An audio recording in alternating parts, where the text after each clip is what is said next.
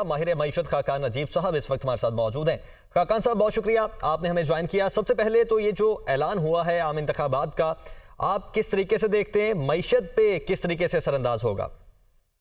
मैंने हमेशा कहा है कि पाकिस्तान को एक चार्टर ऑफ़ सर्टनिटी की ज़रूरत है। ये एक चार्टर ऑफ़ सर्टनिटी का एक अहम जुज है कि एक डेट सामने आ गई है कि हम हल्का बंदियाँ करके भी, नई फहरिस्तें देख कर भी अब प्रॉपरली एक डेट का ऐलान जो है वो सबके लिए एक सर्टनिटी क्रिएट करेगा। सो so, अगर सबको मालूम है कि एंड ऑफ़ जनवरी में अब इलेक्शन होने वाले हैं सो so ये लोकल डोमेस्टिक ऑडियंस के लिए भी और याद रखिए चूँकि हम आईएमएफ के प्रोग्राम में हैं आईएमएफ के प्रोग्राम का पहला रिव्यू भी कहीं नवंबर या एंड दिसंबर में ड्यू होगा तो अगर उनको भी ये तकवीत होगी कि अगर वो ये रिव्यू एक केयर टेकर सेटअप के साथ कर भी लेते हैं तो आने वाले दिनों में उनके पास एक फाइव ईयरली गवर्नमेंट होगी जिसके साथ वो आगे बढ़ पाएँगे और आखिरी रिव्यू की तरफ़ जा पाएँगे। डोमेस्टिक इन्वेस्टर को भी should be more sure now कि पाकिस्तान जो है ना सिर्फ़ इस वक्त जो आप एक्शन देख रहे हैं from the political and authorities जो स्टैब्लिशमेंट की अथॉरिटीज हैं uh, uh, वो इसमें कटेल कर रहे हैं हम स्मगलिंग को होर्डिंग को couple that with the investment cycle जिसमें जाना चाह रहे हैं।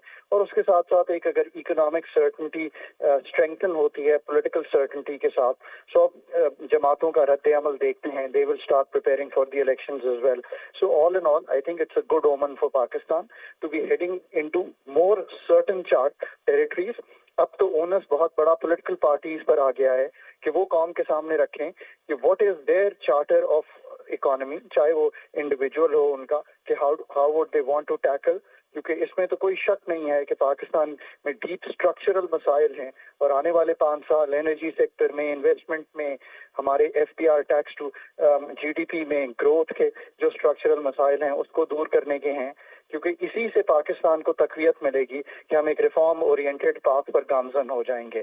So all in all I think it's a good omen for Pakistan. इसके पैसे भी मौजूद हैं जस्ट टू क्लेरिफाई बजट में मेरा ख्याल है कि 40 अरब रुपया जो है वो उसका तयन कर दिया गया था जब ये बजट बना था। So the money is also there I think part of that money शायद रिलीज़ भी हुआ है इलेक्शन कमीशन को।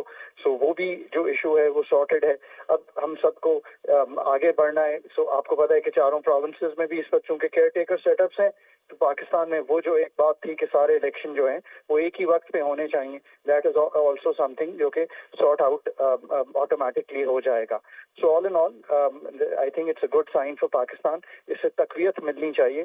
और इंटरनेशनल कम्युनिटी के लिए अगर हम एड्रेस करें specially the international community which thinks that this process is important as we do that the democratic norms must be carried on the democratic norms are being carried on, and even with the new uh, uh, process that uh, the election commission had to fulfill, uh, which it will. Uh, yes, there is uh, a little bit of a delay, but when all the political parties favored through um, um, um, doing it um, this way, I think that's what the election commission has done And we were looking forward to the election commission to do this. Now let's hope that this process remains intact and moves forward as smoothly as possible in the country. ठीक है खाकान अचीब साहब बहुत शुक्रिया आप हमारे साथ मौजूद थे